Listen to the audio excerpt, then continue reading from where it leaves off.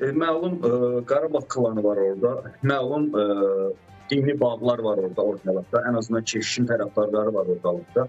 Və e, Rusiyanın da təbii ki, orada tərəfdarları var. Ola bilsin ki, hansı tərəflərdən biri, hansısa biri ümumiyyətlə əmr verə bilər ki, bu hadisə baş versin. Ümumiyyətlə Ermənistan Ermənistan daxilində e, vəziyyət onsuz da e, yaxşı deyil. E, xaotik bir vəziyyət var faktiki olaraq.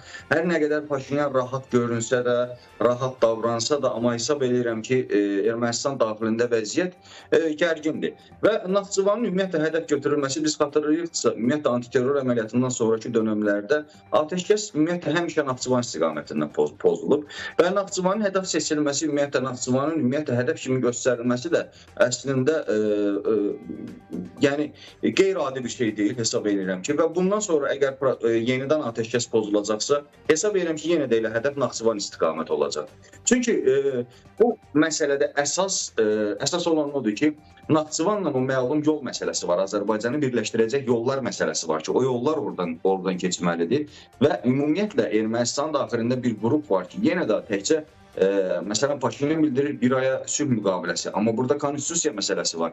Konstitusiyanı dəyişə biləcəklərmi? Bunlar hamısı hesabdır. Bunların hamısını düşünmək lazımdır və bunların üzərində hansısa bir işlər aparmaq lazımdır. Mən düşünürəm ki, indiki məqamda e, Ermənistan ordusunda e, Ermənistan ordusunda təbii ki, e, məsəl üçün e, Ermənistan ordusunun tərkibində ən azından A- Avropada və yaxud da ki, NATO ölkələrində onların təhsil alması, digər məsələlər var. Ermənistan ordusu hələ də formalaşa bilmir. Niyə görə 44 günlük müharibədən sonra? Çünki konkret olaraq hansı səmt tutacaq, hansı yön tutacaq bəlli deyil. Bir yandan Fransa var, bir yandan ABŞ var və NATO məsələsi var ortalıqda, Hindistan məsələsi var, Yunanistan məsələsi var. Bunlar hamısı qarışıq məsələlərdir. Hesab edirəm ki, belə bir ölkənin, belə bir ölkədə ordunun içərisində problemlərin olması normal bir haldır və mən e, e, Gözlənilən odur ki, təbii ki, Ermənistan tərəfi e, məsələn mən düşünmürəm ki, Paşinyan və rəsmi İrəvan istəyər ki, Azərbaycanla atəşkəs pozulsun və Azərbaycanla hansısa bir formada, hansısa bir konfliktə girsinlər yenidən və e, rəsmi Bakının da bir mövqeyi var. Məsələn, prezident İlham Əliyev artıq bir neçənci dəfədir ki, yəni son yaxın, yaxın günlərdə də belə belə bir bəyanat verdi ki, Ermənistan sülh istəyirsə konkret olaraq konstitusiyasını dəyişməlidir. Yəni bu bunun variantı yoxdur. Amma Ermənistanın içərisində bu qarşıtlıq onu göstərir ki, bu qarşıtlığın içərisində bu dəyişikliyə getmək mümkündürmü? Bax bu ə, ciddi sual doğurur.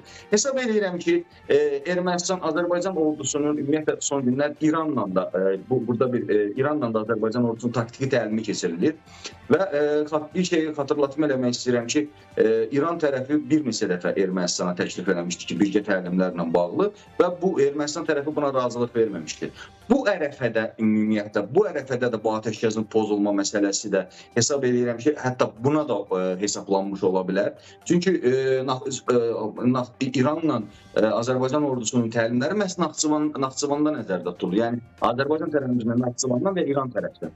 Hesab edirəm ki, bunların hamısı, bütün bunlardan sonra nəzərə alsaq, e, Ermənistanda mən düşünürəm ki, vəziyyət sabitləşməyənə qədər e, gərginlik e, olacaq və Azərbaycanla da bağlı problemlər yaşana bilər.